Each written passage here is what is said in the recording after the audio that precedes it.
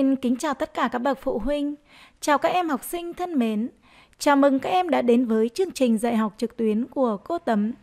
Hôm nay cô trò chúng mình sẽ cùng nhau học môn tiếng Việt lớp 2, tập 1, sách kết nối tri thức với cuộc sống của nhà xuất bản giáo dục Việt Nam.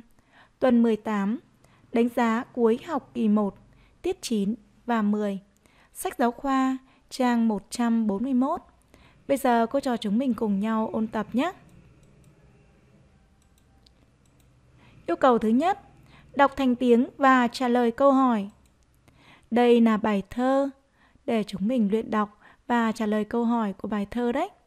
Các em nghe cô đọc bài thơ và đọc thầm theo cô nhé. Đàn mưa con Đám mây đen chịu nặng Cúi mình xuống thấp dần Cho đến khi rạn vỡ Sinh ra triệu đứa con Đàn mưa con bé tí trong trẻo như giọt sương. Vừa mới rời xa mẹ, đã can đảm xuống đường. Giọt đậu vào cành khế, giọt thấm xuống cánh đồng. Giọt bay trên mái phố, nhảy dù xuống dòng sông. Sau nhiều ngày trôi nổi, đi du lịch khắp nơi, chúng gặp nhau ở biển làm sóng trắng trùng khơi. Phi ba tuyết. Như vậy các em vừa nghe cô giáo đọc nội dung của bài thơ đàn mưa con. Bây giờ chúng mình cùng nhau trả lời các câu hỏi nhé. Câu hỏi số 1 trong bài thơ, những giọt mưa được gọi là gì? Đáp án của cô như sau. Trong bài thơ, những giọt mưa được gọi là đàn mưa con đấy. Câu hỏi 2 giọt mưa rơi xuống những đâu? À, các em ạ, à, giọt mưa rơi xuống đường, đậu vào cành khế, xuống cánh đồng, rơi trên mái, bay trên mái phố, rồi xuống dòng sông, rồi ra biển lớn. Như vậy, giọt mưa rơi xuống khắp nơi. Như vậy vừa rồi, chúng mình đã cùng nhau luyện đọc bài Đàn mưa con và trả lời các câu hỏi về nội dung của bài rồi đấy. Bây giờ chúng mình cùng nhau chuyển sang yêu cầu số 2 nhé. Yêu cầu số 2, đọc hiểu. Các em hãy đọc lại nội dung của bài văn Cỏ và lúa để chúng mình có thể tìm hiểu về nội dung của bài đọc này nhé. Bây giờ các em hãy chú ý lắng nghe cô giáo đọc mẫu và đọc thầm theo cô về nội dung của bài Cỏ và lúa nhé.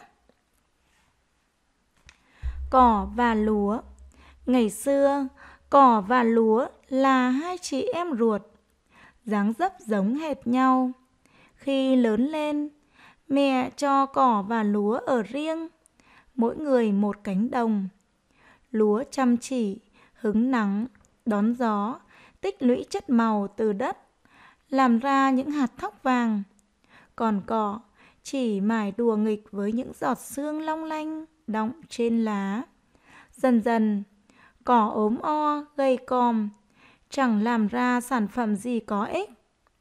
Một hôm, lúa mời cỏ và bạn bè tới chơi. Sau khi ăn uống đủ đầy, cỏ lăn ra ngủ. Thấy nhà cửa chị lúa sáng sủa, mát mẻ, cỏ xin ở lại. Lúa vốn hiền lành và thương em, nên đã đồng ý. Từ đấy, cỏ sống chung với lúa.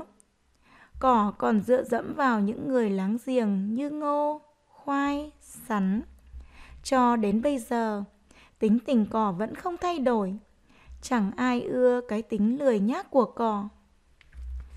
Bài đọc theo Nguyên Anh Như vậy vừa rồi, các em đã nghe cô giáo đọc mẫu bài Cỏ và Lúa. Bây giờ cô mời các em hãy bấm dừng hình để chúng ta đọc thầm lại bài Cỏ và Lúa nhé.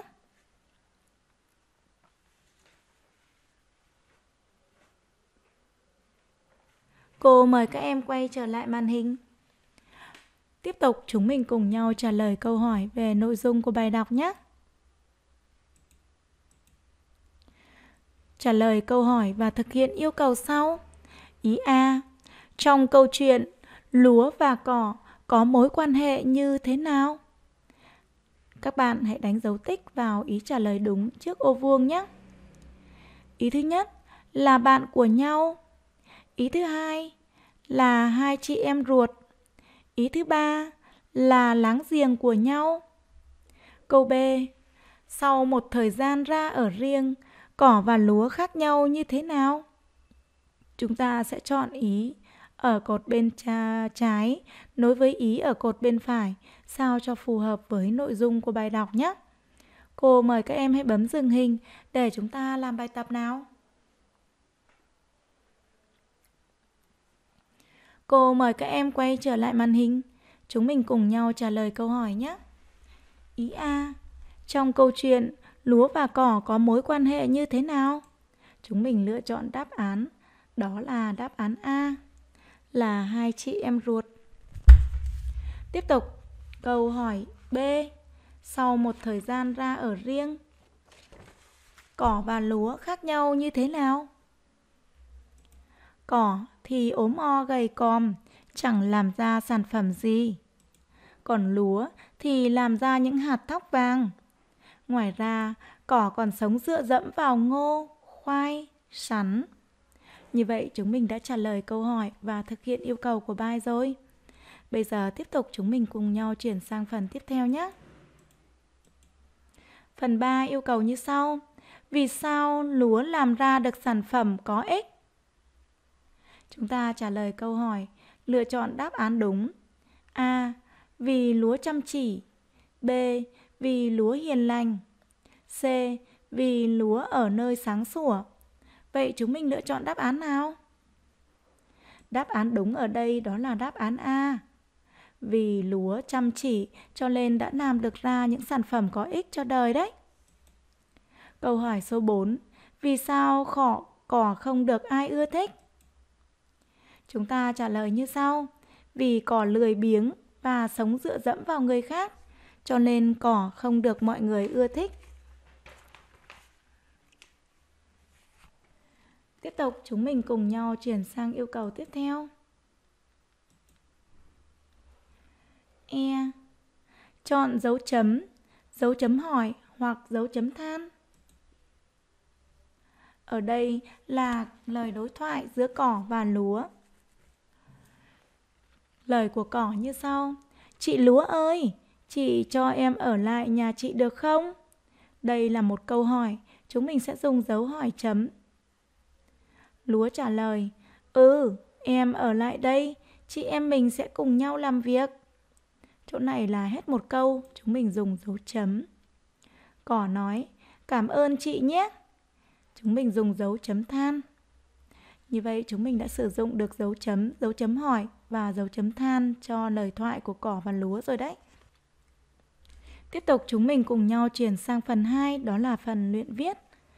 Phần yêu cầu thứ nhất đó là chính tả nghe viết bài cò cỏ và lúa từ lúa chăm chỉ đến có ích. Các em hãy nhờ người thân, bạn bè của mình đọc cho để luyện viết vào vở ô ly nhé. Còn bây giờ chúng mình sẽ làm yêu cầu thứ hai là viết văn. Viết 3 đến 4 câu kể về việc làm tốt của em ở nhà hoặc ở trường. Như vậy đề này có hai yêu cầu, chúng mình viết một việc tốt làm tốt của em ở nhà hoặc chúng ta có thể viết một việc làm tốt của em ở trường. Bây giờ cô giáo có một bài văn mẫu nói về việc làm tốt của bạn ở trường như sau. Các em nghe để tham khảo nhé.